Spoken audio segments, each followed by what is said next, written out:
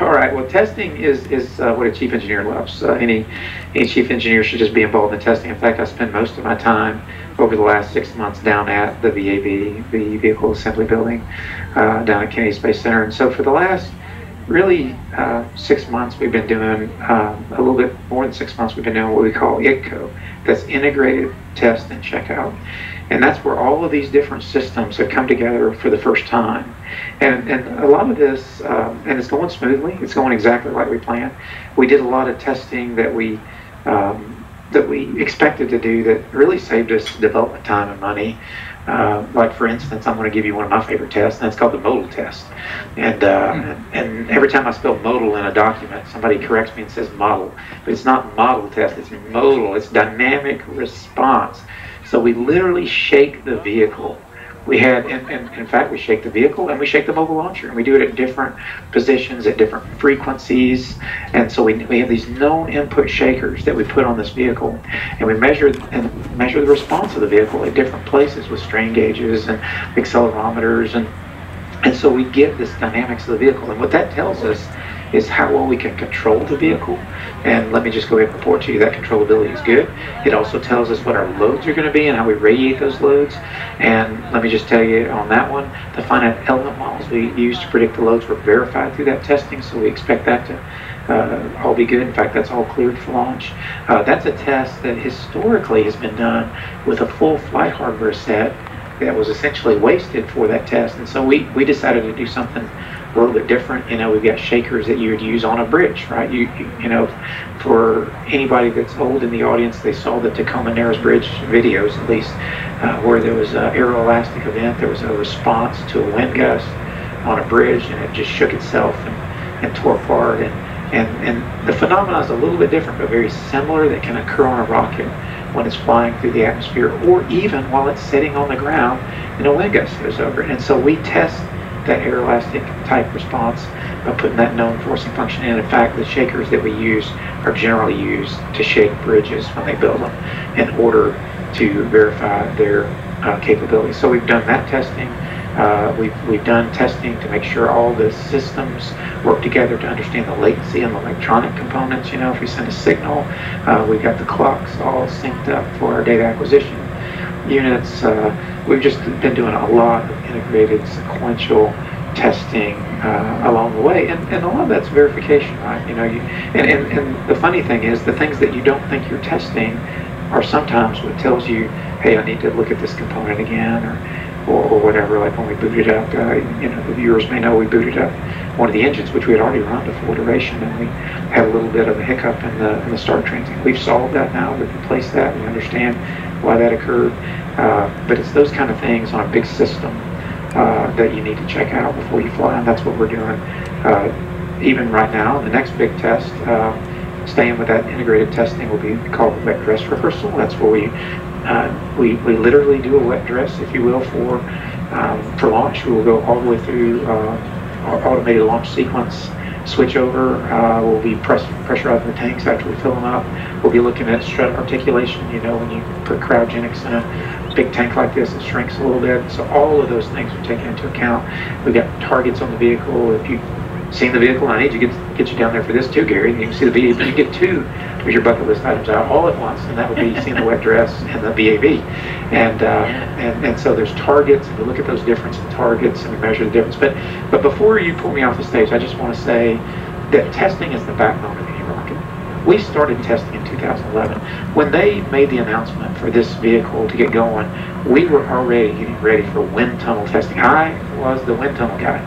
I helped make those first models. I was in the wind tunnel. I, I didn't miss a wind tunnel test until 27, well, actually 2018, when they pulled me into the chief engineer's office. They pulled me in in 2017, but I, I kept going to the wind tunnel tests until they, they got me doing a bunch of other uh, different things. So, uh, uh, so we've done a lot of testing. We fired uh, rocket motors uh, in wind tunnels in order to check out base heating. And so we've just done a lot with uh, with testing, and that's how you verify a system that's very complicated that you cannot test until you fly fully.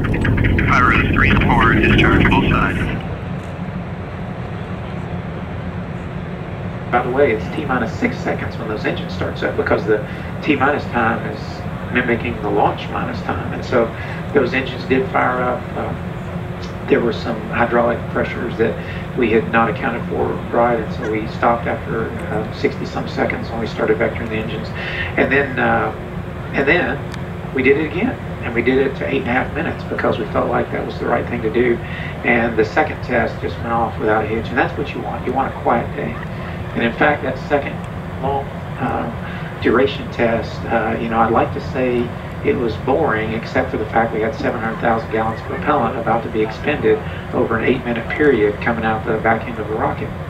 Uh, and it, except for that historic event, it was really a boring day. We didn't have any things going on with the rocket. We were just monitoring the systems going through the checklist. And that's why we test, and that's why we get ready for this launch in the same way. And, and uh, we might have a good quiet launch day as well. So, but uh, but it was great. That, that, that green run gives us a great deal of confidence. And what is really also significant about that is it is the newest hardware. There are complicated pieces. And let me speak to complication. You don't make a rocket any com more complex than it needs to be. Uh, we don't want it to be complicated, but it's going to the moon, so it is complicated. It is complex, but it's only as complex as it has to be. There's only as many lines of code as there has to be in the flight computers there's there's only the complexity that's required by the mission. We try to make things simple as possible. That's how you get mission success.